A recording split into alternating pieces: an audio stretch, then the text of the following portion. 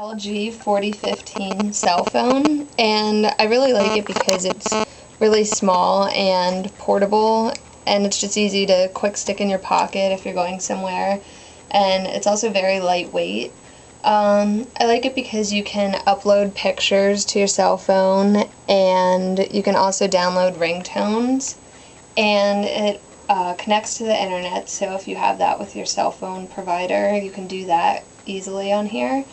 Um, the only thing I don't really like is that it doesn't have a speakerphone, which that's a convenient feature to have, and also the volume doesn't go up too high, so if you're in a very loud place, it's not too easy to hear. But other than that, it's a really good product, and it's very lightweight and a good cell phone.